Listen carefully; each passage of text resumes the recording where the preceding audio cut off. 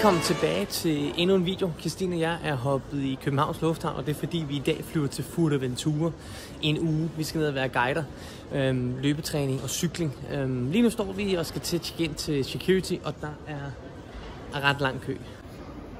Det er så helt dernede i hjørnet.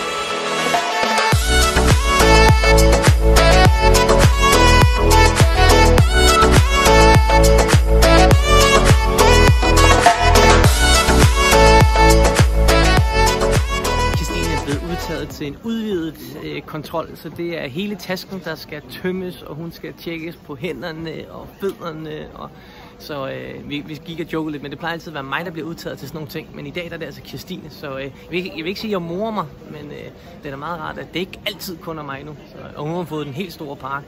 Øh, han siger, at det er 1 ud af 1000, så øh, man kan sige, at det kan være, at Kirstine skal spille lotto i dag. Øh, men hun er tydeligvis ret heldig. Så kom Kirstine altså igennem. Der var ikke noget at sætte en finger på, heldigvis. Så nu skal vi ned til gaten. A8 i Leeds, Så øh, jeg håber, at det ikke alt for langt ude, men det er det jo nok helt sikkert. Jeg er jo normalt imod lavkagehuset, fordi jeg synes, det er så sindssygt latterlige priser, de har kørende. Altså et øh, franskbrød, øh, 48 kroner, øh, en, en bolle, en 20'er. Altså det er jo, det er jo, det er jo sindssygt. Øh, og det er ikke fordi, de gør noget øh, anderledes end, end andre, tænker jeg. En bolle er vel for fanden en bolle. Men når vi er ude at rejse, så, øh, så sidder alting lidt løsere på hænderne, og det er også penge. Øh, så øh, om det er Gorms pizza til 135 kroner, eller om det er en øh, ostebolle for lavkage, en ostebolle for lavkagehuset til 32, så, øh, så går det nok i dag, men øh, ikke i morgen. Og der er også, øh, der er også all you can eat, kan man sige, så der er jo buffet med jeg mener i næste uge.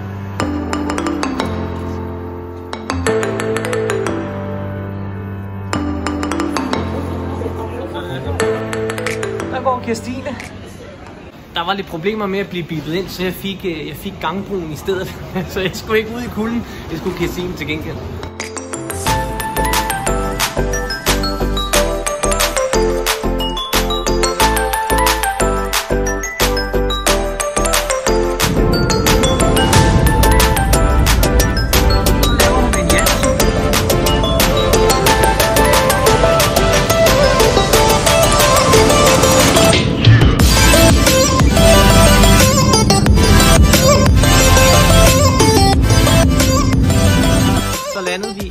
I uh, Fuerteventura, lufthavnen, øhm, og øh, der var lige et kvarter, eller 10 minutter, ej, det var sgu nok et kvarter med, øh, med bum, og øh, der vil jeg sige, der, øh, der, der begyndte jeg sgu at svede lidt. Det var i hvert fald en meget, meget, meget, meget, meget, meget rød t-shirt, jeg havde mig til sidst.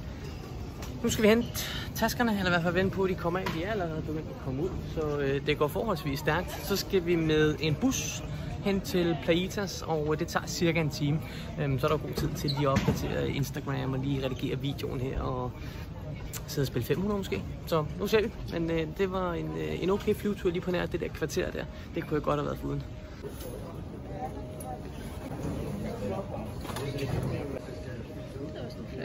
Altså se hende lige, så har hun trukket halsedissen op nu. Det er 25 grader.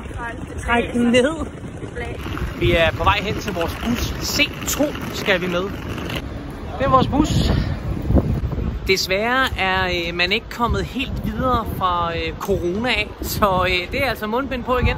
Og øh, jeg plejer altid at sige, at øh, det er Kirstine herhjemme, der har en styr på det hele.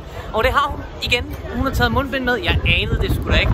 Så havde jeg flået herned alene, så havde jeg ikke haft mundbind med. Øh, fordi hos, altså, i min optik, der er corona altså ikke en ting længere. Men det er det tydeligvis. Så øh, en Teams bustur med mundbind. Ja tak. Jeg glæder mig. Ikke.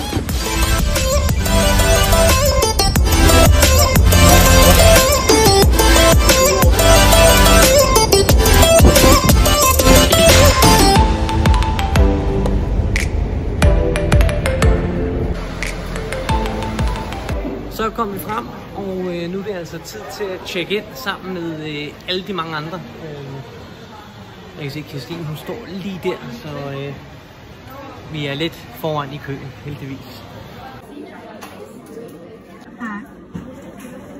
Vi har fået at vide, hvor vi skal hen, og vi skal simpelthen over og bo i annekserne, øh, fordi vi er instruktører. Øhm, og det skal ikke tages som en god ting. Tværtimod, det er det billigste sted, man kan bo, og der er ikke aircondition. Og der er ikke dobbeltseng. Så lige nu, der er jeg jævnt skuffet. Jeg synes faktisk, øh, Ja, lige nu er det faktisk første og sidste gang, jeg skal være instruktør igennem Apollo. Det er i hvert fald helt sikkert. Medmindre de øh, gør et eller andet op for det her. Men øh, sådan er det. You live and you learn. Nå, Kirstine og jeg er blevet, øh, blevet enige om, at øh, den tur, vi har i januar som øh, instruktør, den, øh, den annullerer vi, øh, med mindre at øh, vi får et andet, øh, et andet rum.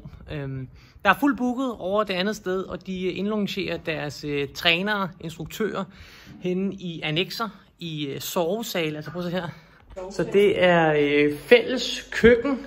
Det skal vi så ikke bruge, så det er fint nok. Derinde skal der sove to, og herinde skal der sove to. Og så er der et toilet, to toiletter, så det er sådan en skide skidesal det her. Hvis, øh, hvis ikke øh, vi... Øh, det, det lyder selvfølgelig lidt nederen at sige, men prøv at høre. Jeg skal være her en uge, og øh, jeg kampsveder udenfor. Jeg skal ikke ligge og svede, når jeg sover. Øhm,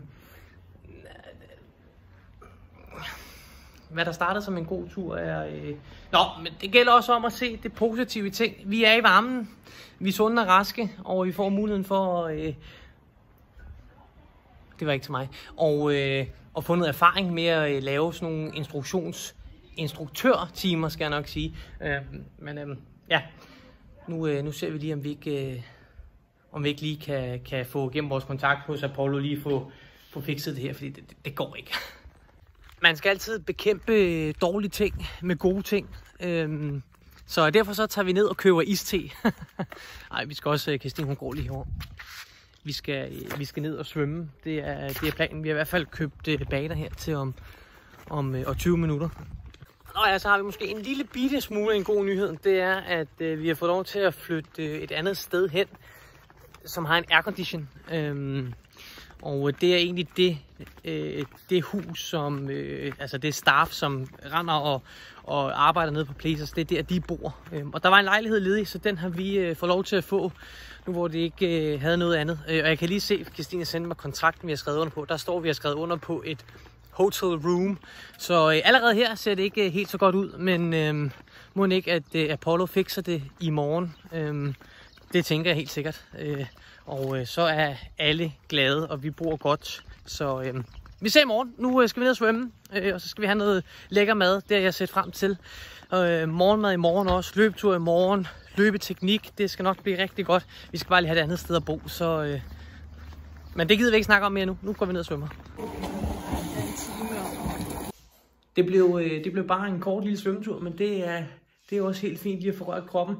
Ja, der sker nok ikke så meget mere i dag. Nu skal vi ned og have lidt mad, og øh, det er sådan set det. I morgen starter det sådan for alvor. Øh, vi skal ud på en øh, løbetur fra morgenstunden af, og så skal vi... Øh, hvad hedder det, lave noget styrketræning til at løbe, eller vi laver sådan en 45 minutters træning med, øh, med dem, som nu øh, dukker op. Øh, status med, med huset her, det finder vi lige ud af. Øh, vi har sagt, at vi gerne vil flytte op i et andet, vi har været op og kigge på. Der er i det mindste aircondition, øh, og det er noget pænere. Øh, lige, lige nu sidder der også en mand herude og arbejder.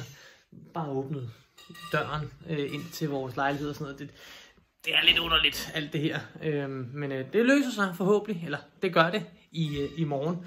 Øh, så i morgen er en bedre dag. Tusind tak fordi I så med. Selvfølgelig like videoen, subscribe til kanalen for at øh, følge med i opdateringerne. Øh, og så ses vi i morgen. Hej.